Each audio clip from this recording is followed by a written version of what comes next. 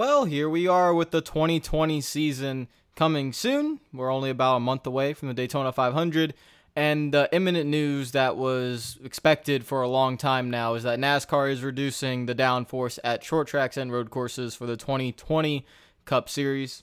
This is not surprising at all because it is the right decision and it's the right move.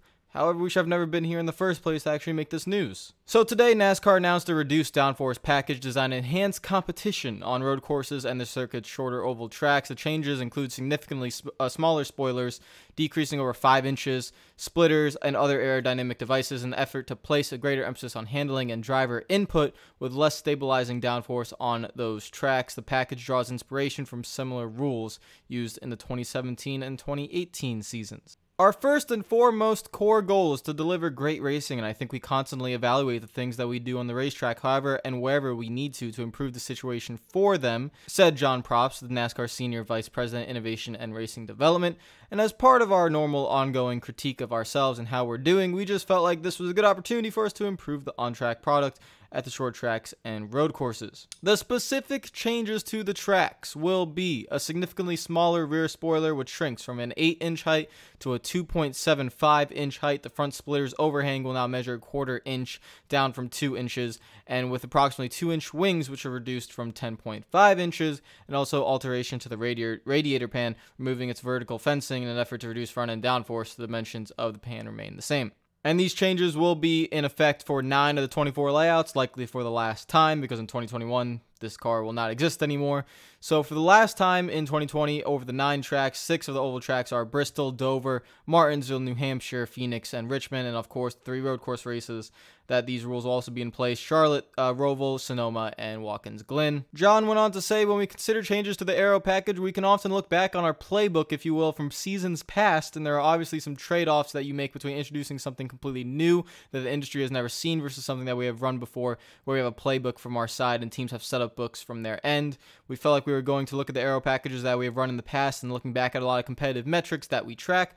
We feel like the 2017 levels of downforce on those types of tracks had a pretty good side by side racing that our fans enjoyed. He went on to say that instead of creating new aero spec, which we're getting one next year, so it doesn't matter. But instead of creating new aero spec for 2020, which yes, it would have been a waste of time since you have what's coming in 2021, we feel like going back to something that's tried and true for us will make it a package we have run recently. This all makes sense, and this is all a good move, and this is the right move, and this have never actually been changed from years past. NASCAR wanted to use one package, one spoiler, one splitter for most of the tracks, but they realized, and they should have known this when they were sitting at the table, that when you take a 550 horsepower car and stick a massive spoiler and a massive splitter on it, and then you take it to a short track, it's what are you doing? That package is designed for drafting and, and for you to close up the field of play and have more on throttle racing, which does not agree at all with short tracks. How NASCAR somehow managed to do that and go through with it, and the teams also went through with it and everything, how that managed to happen is beyond me and absolutely ridiculous, and it does not put the the fans at first and racing first, which is what it should be. Racing should be first. Fans should be first, not what the fan, the teams think. Where the teams are like, hey, we don't want to have multiple different spoilers or splitters. By the way, the spoilers are actually given to the teams by NASCAR, so that's completely NASCAR's decision. They could have made the spoiler smaller. It doesn't really matter. But this is what I'm getting at. We have this great news from NASCAR today that, you know, we're going to the reduced downforce of short tracks, which is great. That's not a problem at all, and it's good news. It's positivity. Thank God. We're going to have better races at short tracks and road courses for the 2020 season, and hopefully we're going to have really good races in 2021 with a brand new car and different, maybe, Uh, rules for the short tracks and road courses there. However, this is the classic creating a problem and then fixing it and then spinning it as a good PR move. You have to give NASCAR credit for the good PR, but don't give them credit for doing what they should have done. It's like if you go to school every day and you do your homework and you sit there in your classes and you listen and you do well in school. That is what you are supposed to do. You do not get credited or, or you know, multiple great jobs and all these rewards and all this praise for doing what you are supposed to do. And that's what you do at school, right? This is the same thing here. The fact that this problem even existed is a problem, and it shows a lack of transparency from NASCAR.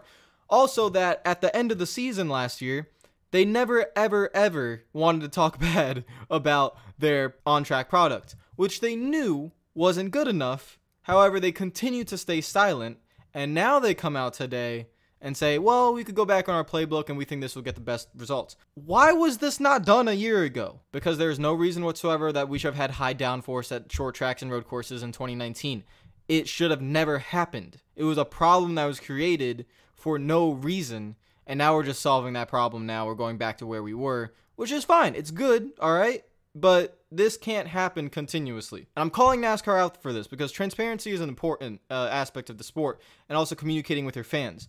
If you know that your short track package and your road course races are not living up to the standards because it's your fault, you actually should come out and apologize to the fan base because this is a problem you, NASCAR, created completely yourselves. The blame completely lies at your fingertips for the issues that we had at short tracks and road courses that, again, should have never happened. So the praise that I'm seeing today is good and all, but you have to hold NASCAR accountable that you can't just create a problem and then solve it and think you're going to get away with that. And what's even more worrying is that when 2021 does come around, Will NASCAR make the same mistake? Will they take a high downforce, low horsepower package to a short track again with a new car? The new car will affect the racing a considerable amount, but if you come back next year with an 8 inch spoiler and 550 horsepower and you're expecting different results, then you better, better, better make sure that car is suited to that package. Because if it's not,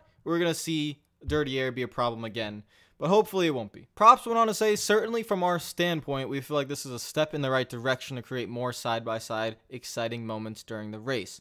Obviously, the proof will be in the pudding, but this is certainly something we have run before that's had good results. Again, nowhere here do they ever apologize or admit their mistakes. Nothing happens. They say a step in the right direction. You took two steps backwards and just went one step forward back to where you were. I'm not trying to be negative. I'm just straight up calling these guys out because, again, it's not a step in the right direction. We were here. This wasn't a problem. Then you made it a problem, and now you're back to where you were. And again, the focus should all be on 2021 and learning from these mistakes. But I think an apology is deserved. I think admission of mistakes is deserved. I don't see any admission of a mistake. There's never any admission saying we messed up. We are sorry. We apologize for making the uh, the wrong mistake. We it, the races didn't play out like we sh- we wanted to, and we made a mistake for 2019. It's none of that. It's the same the same old nonsense of well, we're making a step in the right direction. We want side by side racing. We want passing. We want all this stuff. And you're pitching it as if it's a brand new, great idea. Like, yes, this is a step in the right direction. This is the competitive metrics. This is, I believe, what can make the best racing in these tracks. Yes, it can and it will, but we cannot create problems and then solve those problems and think we're doing God's work. One more thing I want to talk about is the fact that how this even happened is there's too many voices at the table. You have NASCAR, you have Steve Phelps, you have all of NASCAR's organization. Then you have the owners and the race teams. They have a lot of a say in everything as well. The fans and the drivers, they really don't get any say. And the fact that the drivers don't have any say is just, oh my god.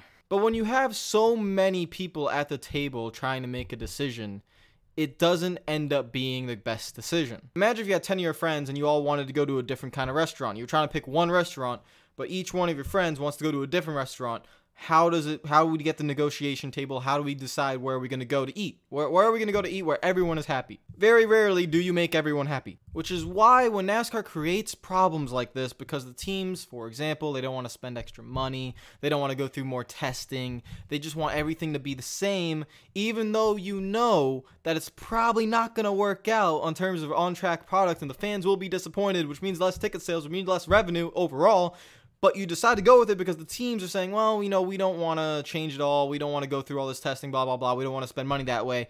And NASCAR caves or the negotiations just fall through, and this is what you get for 2019.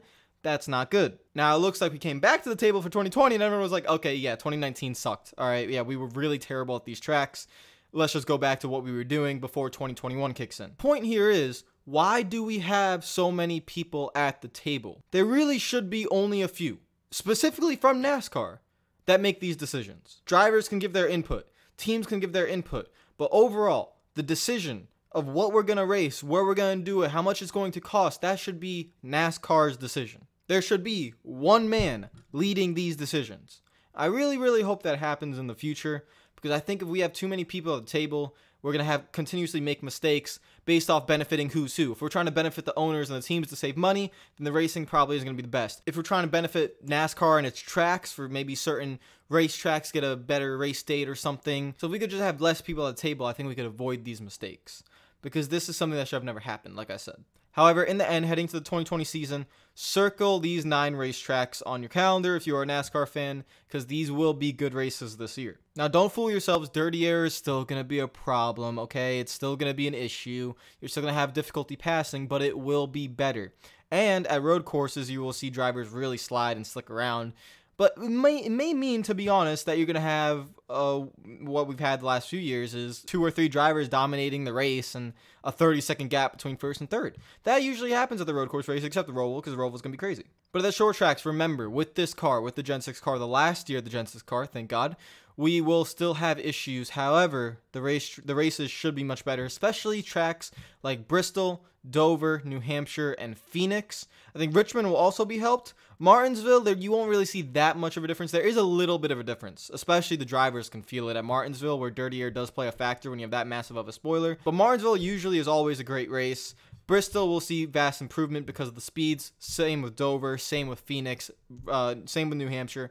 I think Richmond also will get a, a better sense of racing, mainly because I think you'll be able to move around a lot more, and it's going to open up the track and open up the lanes. And I really personally really like Richmond as a racetrack. Sometimes it doesn't offer the best racing when it comes to side by side racing, but it's mainly because the drivers are just so they're so loose coming out of the corners and they're so just on off throttle. It's it's really fun. So hopefully Richmond's going to be a good race.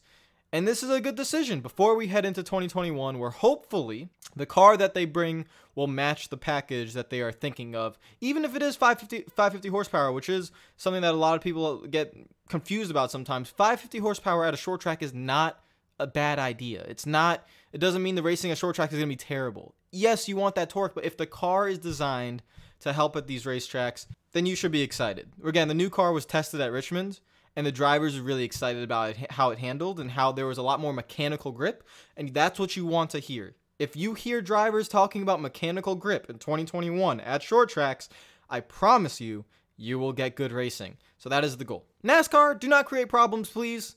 Do not do this again please. And maybe admit to mistakes please and apologize to your fan base because it is just well, that was not necessary in 2019 hopefully you guys learned from this and hopefully 2020 will be a good season on the short tracks and the road courses. And well, the mile and a halfs. Well, I don't know what to say. You know, Pocono's probably not going to be a good race. So. And Michigan. And Indianapolis. But sometimes that's how the cookie crumbles. Comment down below with your thoughts on what is going on in 2020. This is good news. Hopefully, you guys will enjoy it. And hopefully, well, we will have better races at the short tracks, which always are the best racetracks on the circuit. And hopefully, get more sooner in the future years. I'll see you guys later. Hope you have a great day. Follow me on Twitter and Instagram if you're not already. And I'll see you guys later. Peace out.